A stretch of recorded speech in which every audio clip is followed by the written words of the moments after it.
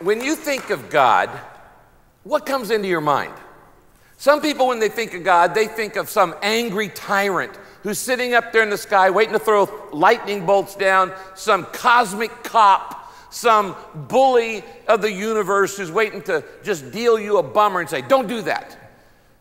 Other people think the exact opposite. They've got this little namby-pamby God who God is this doddering, toothless grandfather who really is kind of impotent, can't do anything, and he watches you do wrong, and he goes, you know, he kind of winks at you and goes, no, no, don't do that, but he's still letting you do it. And, you know, he's just a big mush puddle. Uh, and then some people think that God is like this apathetic creator who kind of winds up the earth and then just watches it run down and goes, well, isn't that nice? Jesus Christ came along and exploded all the misconceptions about God in two words. He said, Let me tell you how you say God, how you talk to God. You say, Our Father.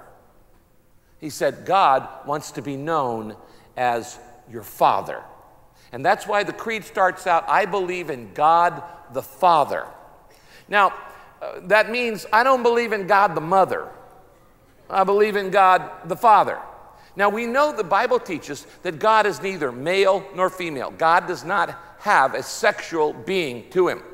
And the Bible says that he created males and females to express his image. He said, Let us create man in our own image, and in the male and female, he created them. So, part of the male character represents part of God's character, and part of the female represents. So, God cannot be expressed in simply one thing. But he said, You are to call me Father.